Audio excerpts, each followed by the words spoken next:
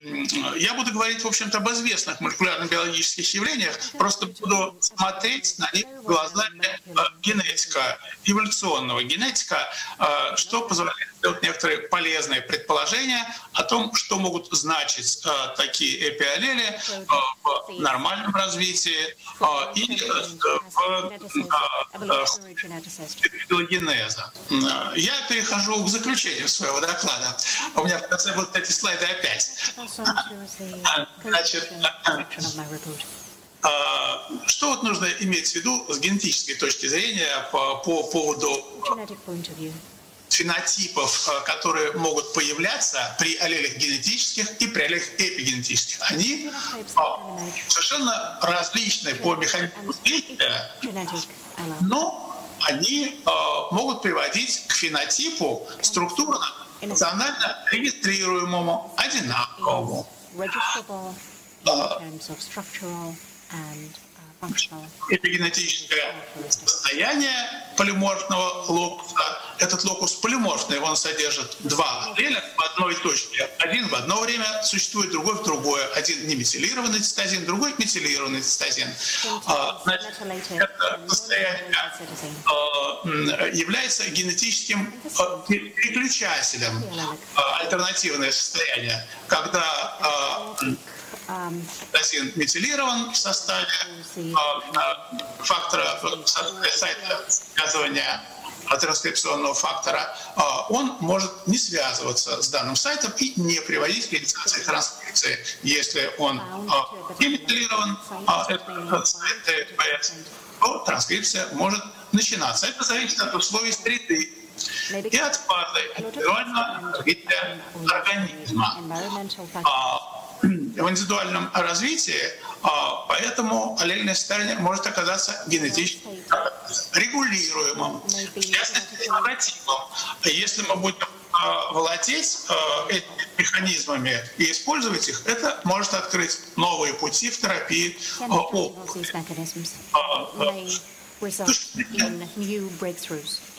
Они эпиаллели в поколениях э, сохраняются, э, но могут и утратиться, если, например, цитозин перейдет э, в тимин, и при этом будет исключено в данной позиции, возникнет институтивная экспрессия гена, возможно, в этом случае, если такая мутация возникнет в геноме зародышевой линии. И это может оказаться полезной филогенетической инновацией. Конечно, эти механизмы являются все производными от обычного генотипа, от обычной структуры генома, от обычной последовательности ДНК. Но они, э, эти модификации, придают ей такой смысл. А, так, все не движется. Ну, давайте следующее. Следующее, следующее давайте. О, отлично получилось. Значит, э, Э, еще раз, там будут следующие слайды, которые демонстрируют, но я э, упомяну, что фенотипически э, эпиаллель проявляется не только в модификации основания, но и на более высоких уровнях включая уровень поведенческий, как сейчас известно неизвестно, нет данных опубликованных а, частоте возникновения эпигенетических аллелей, то есть о частоте возникновения эпимутаций. Мы знаем, что э, мутации генетические, определенную частоту, мы знаем механизм возникновения этих мутаций э, и э, поскольку все уровни реализации генетической информации высшей репликации характеризуются большей частотой ошибок, мы можем ожидать, что частота возникновения эпимутаций также окажется, окажется выше, чем частота мутаций генетических. Но и надо вот обратить внимание на то обстоятельство, что если окажется, что она выше, частота эпимутаций, мы знаем, то это означает, э, что э, эпигенетические мутации э, будут чаще, чем генетические мутации, определять ход антогенеза в норме и патологии, и в том числе наверняка и при опухолеобразовании. А эпимутации в генеративной ткани, они могут чаще открывать дорогу филогенезу, чем мутации генетические. Еще раз повторю, что они могут и закрепляться. А, а, это альтернативное состояние отца, модифицированное, потому что модифицируется именно цитозин, и если он сменится на любой другой имин, то эта регулируемость утратится. И если это эволюционно выгодно, то она, наверное, окажется и закреплен. Um, мы а, а, вот это фундаментальное знание, точнее предположение, а мы его экспериментально получим, подтвердим о том, что я говорю, то это открыть новое направление диагностики, терапии и профилактики заболеваний, а также и э, ну, диагностики, терапии и профилактики э, различных э, заболеваний человека, э, наследственных. Мне кажется, что это очень э, значимая перспектива для экспериментальных исследований. Пожалуйста, следующий слайд. Следующий. Значит, таким образом мы закончили презентацию. Сейчас мы начнем все по новой. Следующий слайд поставьте, пожалуйста. Э, эпигенетические факторы, наследственность – это настройка над последовательностью нуклеотидов. Следующий слайд, пожалуйста. Вот здесь это метилирование цитозина, а, а здесь это модификация и новые варианты а, гистоновых белков функционально. А, это наследственные механизмы и ремоделирование хроматина. Это генетические факторы наследственности, как настройка над последовательностью нуклеотидов и их Вот. Обратите внимание, что а, сама последовательность нуклеотидов является основой для того, чтобы после модификации приобрести не только другую структуру, очень мелкое изменение, но и другие функциональные особенности, в частности, образование транскриптома в данном образование транскрипта в данном месте а, и в данной, в данной ткани профиля транскрипта в зависимости от того, а, какие э, цитозины там прометилированы. Этот, эти модификации, они касаются не только ДНК. На уровне РНК а, также происходит модификация, которая придает молекуле РНК другой, а, по крайней мере, уровень, скажем, уровень своего проявления, ну, например, большую длительность существования или большую трансляции с нее. То есть модификация происходит происходит на базе последовательности исходно э, той же самой лиготе, но все это дальше про, э, дает разметку такую, эпигенетическую, надгенетическую разметку. И она именно определяет новые особенности функционирования этой последовательности нуклеотидов. Таким образом, вот если здесь это эпигеном, при модификации цитозина, ДНК. А вот э, в случае РНК это имеет смысл назвать эпи, эпитранскриптомом. А когда модифицированы гистоны, они приобретают другое функциональное значение. Это по существу а, эпипротеом, то есть надстройка над данным базовым уровнем, который в каждом случае базируется на исходной последовательности нуклеидов. Следующий слайд поставьте, пожалуйста. Следующий слайд. А, мы в основном работаем с генетическими мутациями, мы их хорошо знаем. Но надо сказать, что суммарная доля наследуемости которая объясняется, собственно, генетическим вкладом, она обычно для сложно контролируемых признаков не превышает 10%, а для каждого отдельного локуса составляет меньше 1%. Например, рост человека. 40 локусов. Вклад всех этих локусов вместе 5% по разброс значений, который может иметь рост. И вклад единичных локусов это одна десятая процента. При этом, если вы увеличите число обследованных, а это исследовалось на вот 130 э, тысячах человек, это может увеличить э, э, точность определения вклада каждого из локусов, но не повысить степень э, генетического, уровень генетического контроля, уровень наследуемости, э, он не изменится. Э, и поэтому генетический вклад единичных локусов, он э, очень невелик э, в сложно контролируемых признаках. Но это очень важный вклад в диссертации по специальности генетика, как мы все хорошо знаем. Пожалуйста, следующий слайд покажите. Следующий слайд. Следующий. Смотреть мне. О, отлично.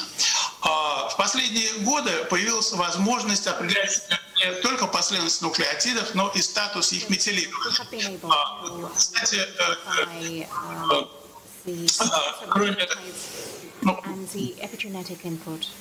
и когда определили возможность предсказания сложно контролируемых признаков по ДНК, Оказалось, что эпигенетический вклад, вклад определяемый присутствием 5-метилцитозинов, он выше генетического или равен ему. А, ну вот, например, курение, вклад эпигенетики в процентах и генетики, суммарный вклад, он относится как 20 к одному. То есть основной вклад в то, что, можно сказать, человек курит или курил, кстати сказать, определяется даже возраст начала курения. Но ну, это отдельная песня. А, а, то а, основное здесь в том, а, каков эпигенетический компонент. А предсказание это высоко значимо, поскольку суммарный балл генетики плюс эпигенетики формирования признака, то есть курящих или нет, определить по ДНК, а, он генетика плюс эпигенетика дает 61%, и только 40% среда. среда. То есть а, вы по а, ДНК и можете сказать о таком признаке больше по эпигенетическим маркерам, чем по генетическим, собственно. Алкоголь. Здесь тоже вклад эпигенетики можно по ДНК сказать, пьет человек или не пьет. Кстати сказать, можно сказать, сколько он пьет в среднем, конечно. Вообще у нас есть некоторые рекордсмены, которые пьют по бутылке в день, согласно вот тому, как распределение э, тот в котором мы работаем. А, значит, э, соответственно, вот здесь тоже 19 к 1 вклад метилирования в предсказание этого признака, который говорит не о том, что он выпил сейчас, а о том, сколько он пил раньше, и это накапливается. Ну и, э, например, самый э, вообще очевидный случай, когда эпигенетические особенности более значимы для предсказания, чем генетические, это определение биологического возраста по ДНК по инсталлированию определенных сайтов.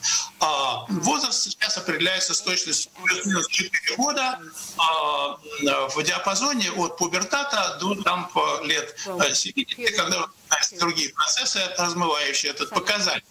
А, здесь возникает интересный момент и этический, поскольку вообще говоря, а, это позволит задать вопрос об определении времени дожития человека, что, наверное, будет очень интересно страховым компаниям. А,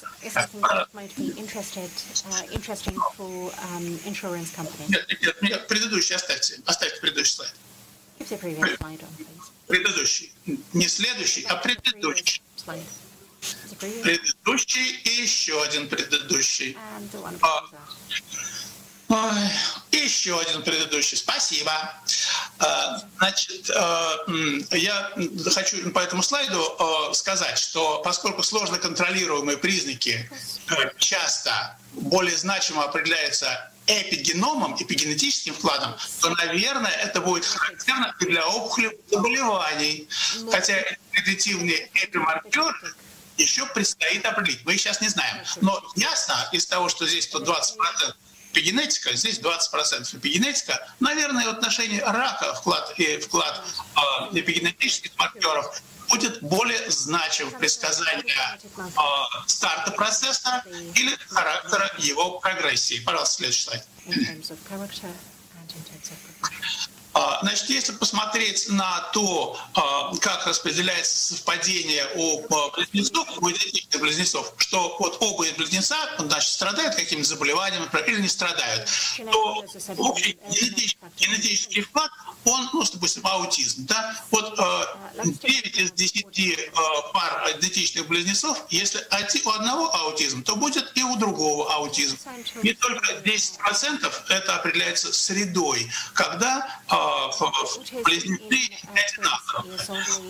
Соответственно, вот мы видели, что среда может давать разный вклад, естественно, но в целом генетический вклад в наследуемость, он для сложных признаков обычно не больше 10%. А вот это вот все а, голубое. Это все эпигенетика, модификация ДНК, гистонов, хроматины, микроРНА.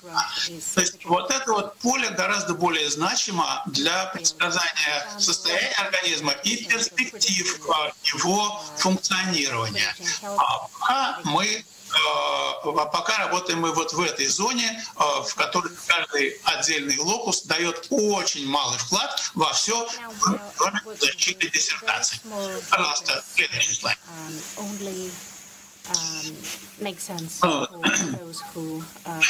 Значит, еще раз, вот эта пара, вот эта цитозин или метинцитозин по данному нуклеотиду, данному генома, а, это эпиаллели. Вот это вот один эпиаллель, это другой эпиаллель.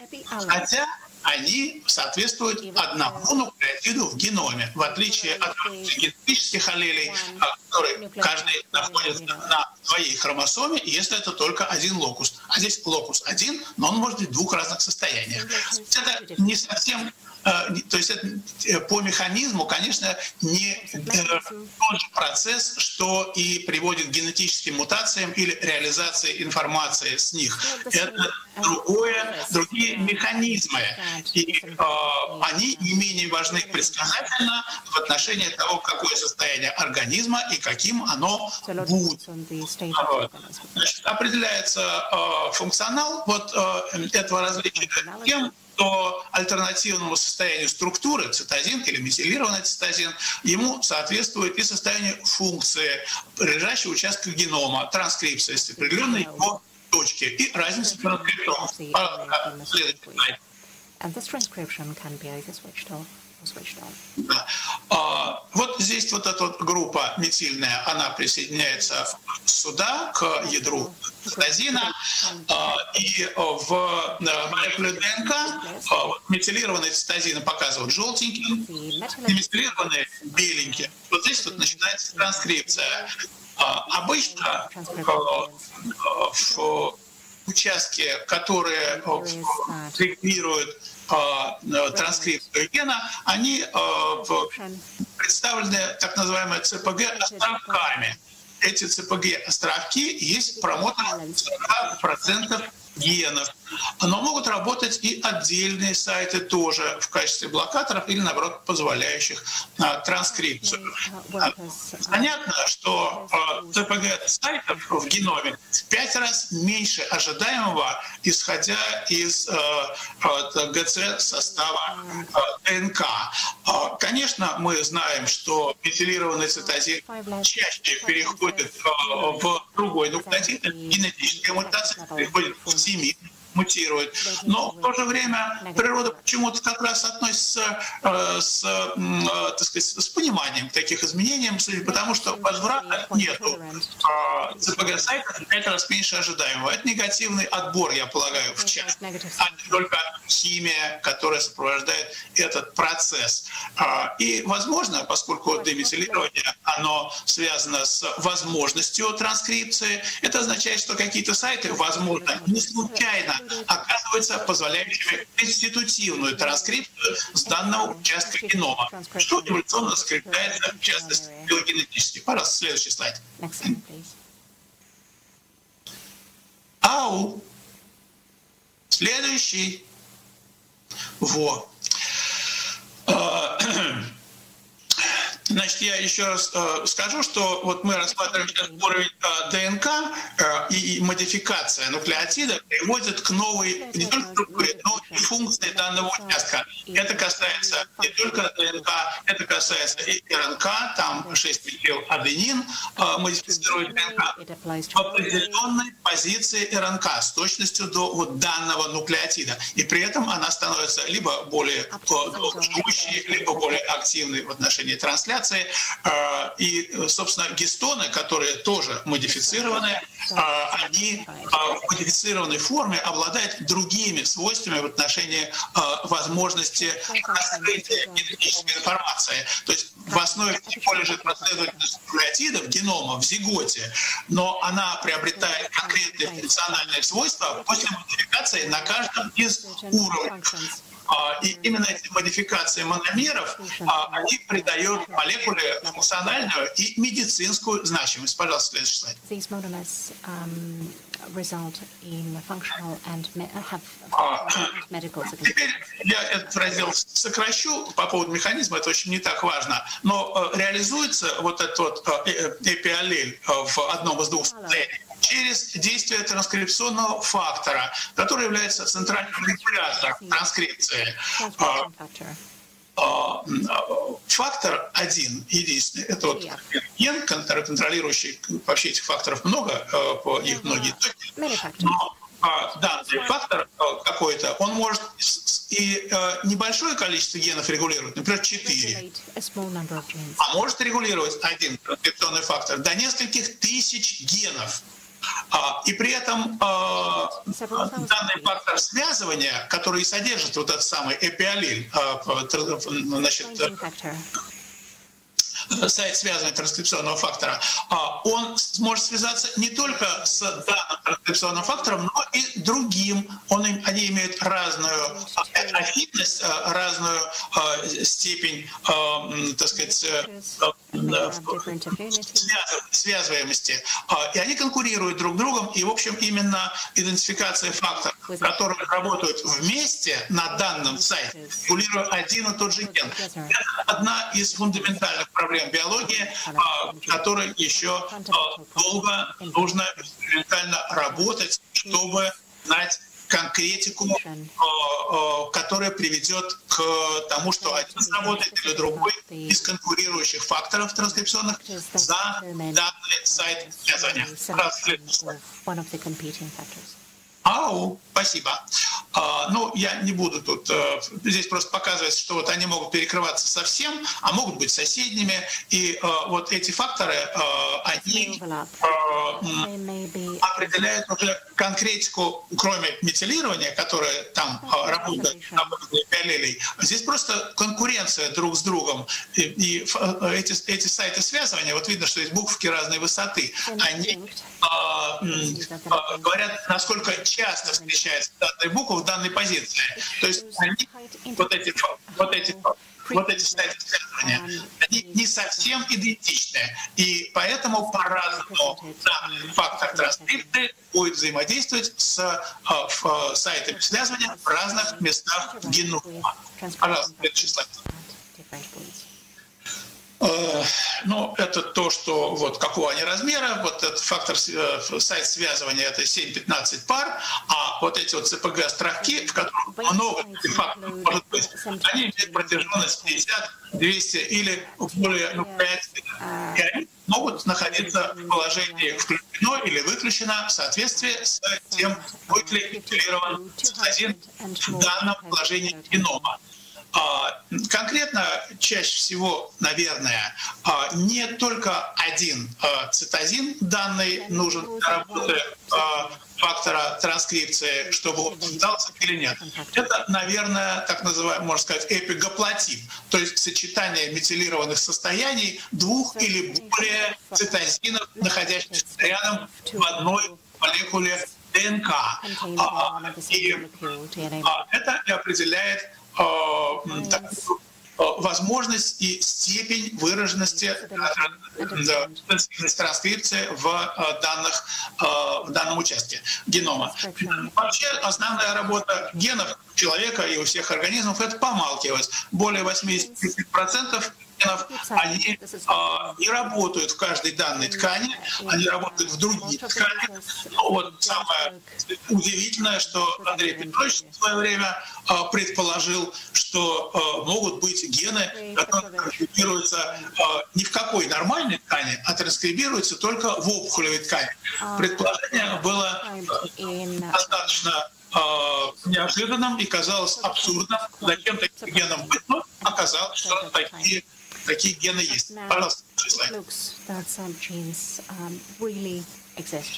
А, вот здесь я не буду вам весь этот слайд в подробностях, но скажу следующее. Что, что мы сейчас знаем на растениях, на человеке это не показано, что в некоторых случаях известно, что сложно контролируемый признак, например, там, длина корня, время зацветания, оно определяется в их крайних случаях, а, скажем, длинный корень или короткий случай, всего лишь тремя локусами, регулируемые области. Три локуса. Хотя регулируемых генов, которые определяют длину корня, время зацветания, их наверняка многие сотни. А, и эти вот три локуса, а, они а, контролируют сотни, а может быть тысячи генов. Интересно, что э, биоинформатике э, это был э, теоретическая работа, как может быть объяснено вообще, зачем такое большое количество генов вроде не существующих. Но если предположить, не влияющих на признак, который сложно... Если предположить, что вклад каждого отдельного гена исчезающий мал, но количество генов составляет тысячи, то тогда получится, что генетический компонент, определяющий а, выраженность признака, а, он а, а, может быть объяснен тем, что это вклад тысяч локусов с очень малым уровнем экспрессии. И тогда получается, что это наследует не потерянное, просто она суммируется из чрезвычайно маленьких, маленьких конкретных кирпичиков вклада в разных местах. И последнее, что я по этому слайду хочу сказать, что возможно, вот это вот крайне малое число центральных регуляторов, например, там 3 или 4 в случае времени зацветания растения, 3-4, а как оно связано с тем, что тысячи генов э, могут быть регулированы? Получается, что, может быть, это одна и та же система, а, только регулируемых генов тысячи, большинство из них экспериментально вообще и неопределимы по вкладу. Ну, не буду сказать почему, так сказать, экспериментально это понятно, что невозможно даже определить. А, но если есть всего три регулятора, то понятно, как система со всем этим работает, наверное. А, а работает она через тысячи, многие, а, которые исчезающие полы, и при изучении отдельного локуса он не может быть положен в копилку, дающую вклад в данный признак. Вот. Это связанная вещь. То, что регулятор три центральных, и это эпигенетические регуляторы, не генетические. А регулируемых тысячи вот это вот может быть э, ситуация, которая для человека пока неизвестна. Очень была красивая и хитрая эпиляция на растениях, которая недоступна, поскольку все эти растения, они были получены путем самоопыления с, последующим, э, с последующей рекомбинацией идентичных организмов по последовательности нуклеотидов, но различающихся по тому, что у них были разные блоки метилирования. Оно там не стирается, и это было с точностью нуклеотида определено. И поэтому очень точно, вот, следующий слайд, покажите. Следующий, покажите. Следующий, ага, спасибо. Вот видно, что здесь э, один локус, это вот одна из хромосом, вот другой локус, пик, и третий. Вот э, красные и желтые — это как раз сильное метилирование или слабое метилирование. То есть одни и те же участки генома могут быть либо в одном эпигенетическом состоянии, либо в другом. А, и нет такого размазанного. Всего три таких, три, а генов тысячи. А, и по существу, а, вот если это также и у человека, только мы не умеем а, создать метод, чтобы найти такие гены, то это будет очень важным для того, чтобы это как в медицинской генетике в целом, так и конкретно при возникновении и прогрессии опухолей. Пожалуйста, следующий.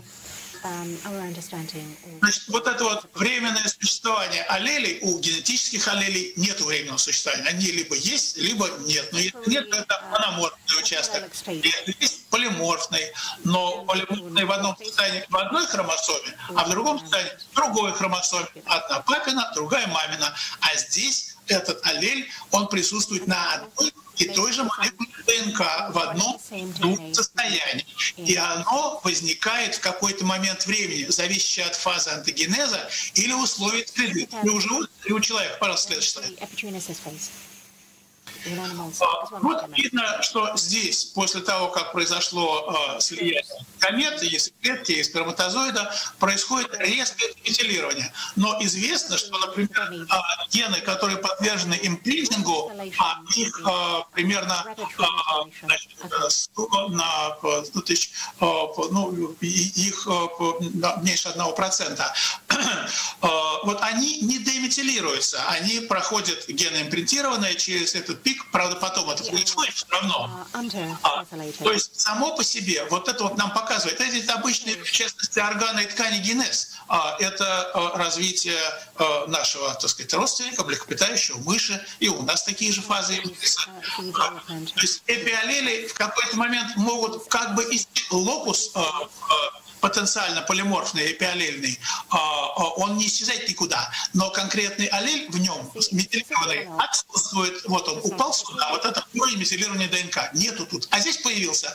И это то, что приводит к появлению органов и тканей.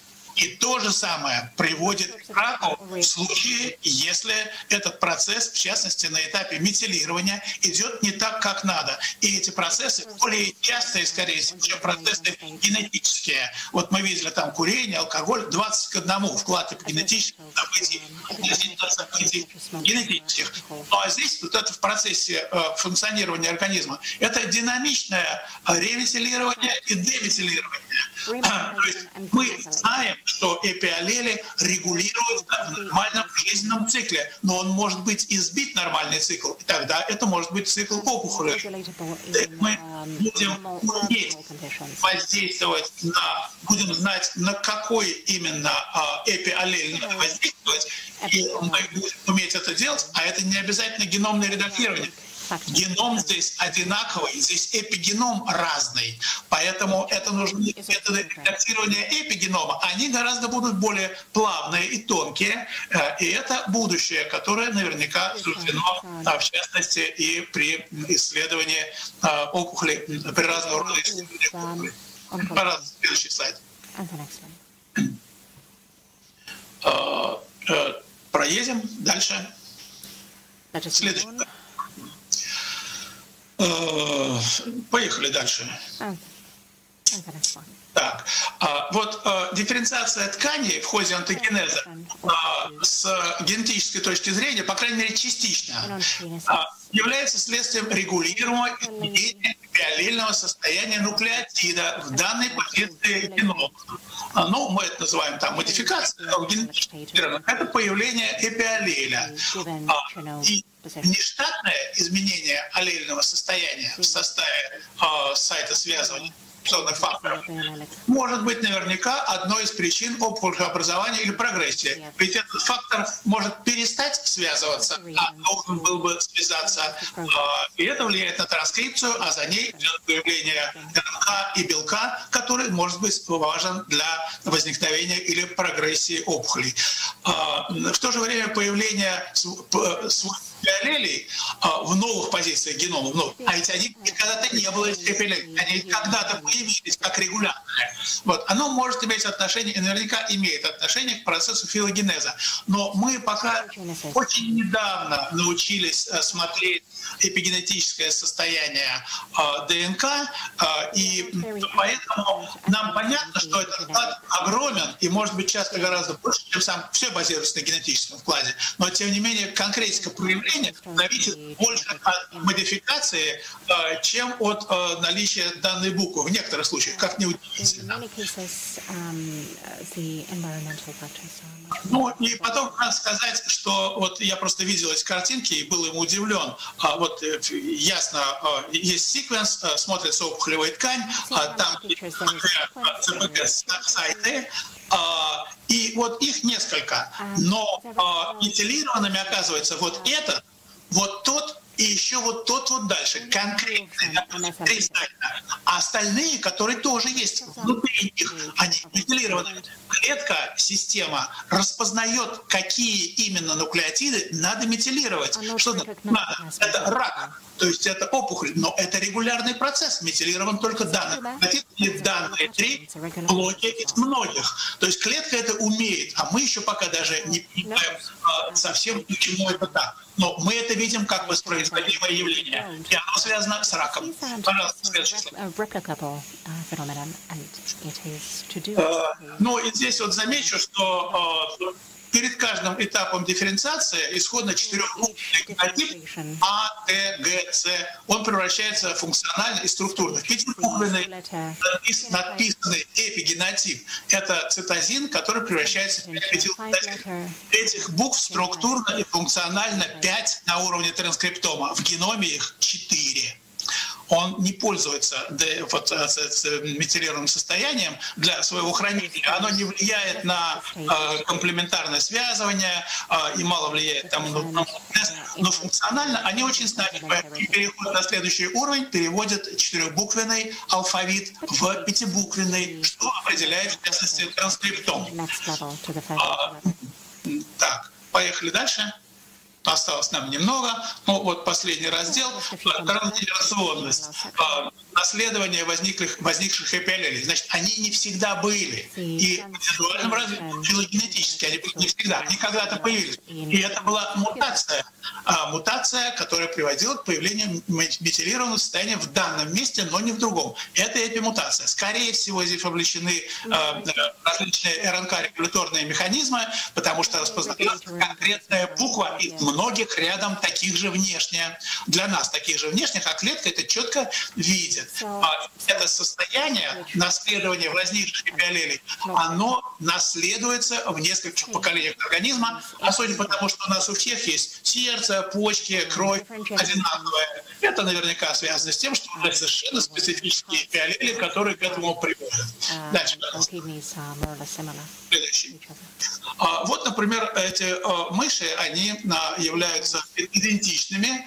А, это клонированные, если память не изменяет организма, но вот у одной из них в, в нескольких поколениях будет вот такой вот хвост переломанный. А это вот идентичный, генетический вот этот. Но у этой хвост и у ее потомков будут обломанный, вот переломанный, а у этой нет. Э, это эпигенетическое событие. Э, это специфичный фенотип. Пожалуйста, следующий слайд. Вот здесь примеры трансгенерационного наследования у человека, а, по крайней мере, на до 4-6 поколений. Здесь, вот здесь 6 и так далее.